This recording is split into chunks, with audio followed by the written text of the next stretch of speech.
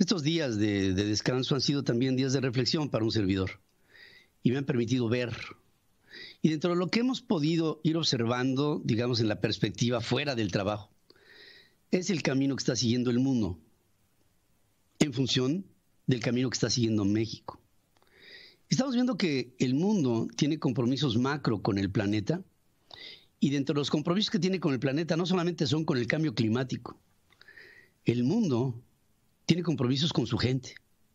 La humanidad está siendo hoy parte del objetivo general de los gobiernos responsables para que en esta transición que estamos viviendo del final de una época venga un reacomodo lo menos impactante posible para que las sociedades sigan avanzando.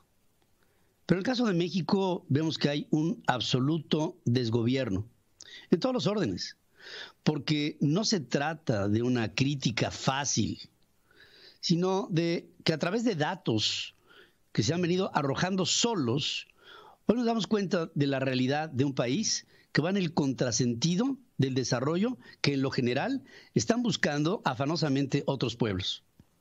Y México no. México se ciñe a la producción de energías caras, contaminantes, retrógradas que están por terminar. Cuando, y además que llama que las energías renovables, como son intermitentes, son inconsistentes. Y por ello viola con una idea trasnochada que tiene el presidente de México de hacer sentir que lo que hay que recuperar es a un petróleos mexicanos que es producto de décadas de corrupción y una Comisión Federal de Electricidad que es producto de lo mismo. Y está defendiendo un proyecto que le aplaude la ciudadanía en México, en un gran sector, para que tengamos hacia el futuro energías caras, malas, inconsistentes y contaminantes. Y por otro lado, estamos viendo cómo se está rompiendo algo que es fundamental para el desarrollo de cualquier pueblo, no de México, del que sea.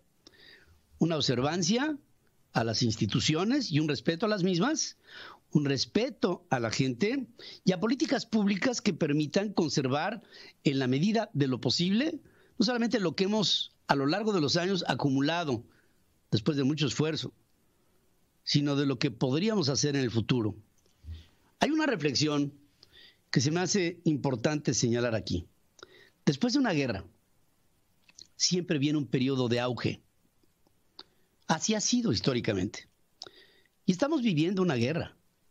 El enemigo que tenemos de frente no lo vemos, pero es un enemigo real que ha paralizado al mundo, a la humanidad, que ha forzado el desarrollo tecnológico a través de la digitalidad y que en el marco de todo esto, la parálisis del mundo nos ha dado cuenta de que la naturaleza cobra y ahora con menos gente hemos visto cómo las faunas han regresado a lugares que en otro tiempo ni siquiera habían soñado. Elefantes cruzando carreteras o, o aves migratorias que llegaron a lugares que en otros tiempos ni siquiera habían visitado. El hombre está viendo cómo el planeta está reclamando una atención.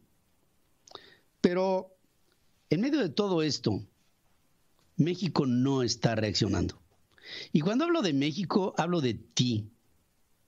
Y cuando hablo de ti, hablo de todos.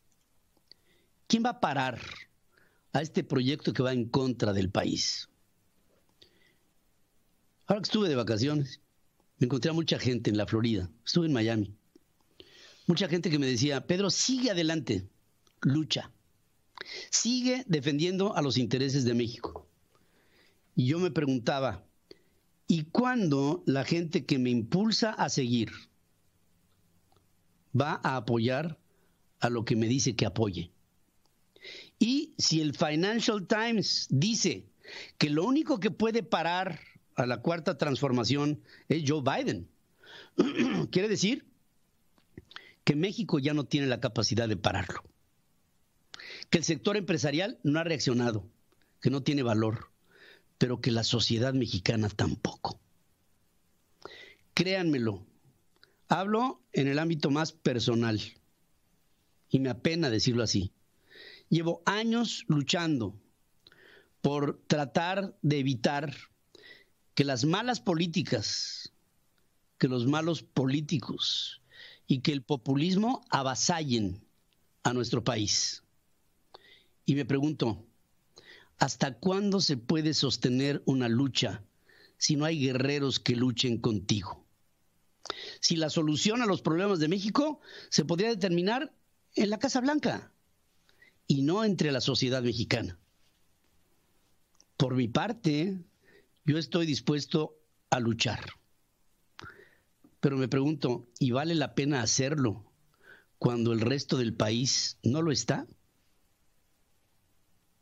Es cuestión de que definamos si estamos unidos mexicanos. Y si estamos unidos, entonces tendremos que demostrarlo porque de dar aliento, síguela así, lúchale por México, y nadie levanta una mano por miedo a que haya una afectación patrimonial particular que hace que los más poderosos callen de manera cobarde ante una cuarta transformación intransigente con el país, entonces dejo un reto. Estamos Unidos mexicanos. Todo entonces depende de ustedes. Yo no puedo decir que ya me cansé de luchar, pero sí les puedo decir que ya me cansé de luchar solo.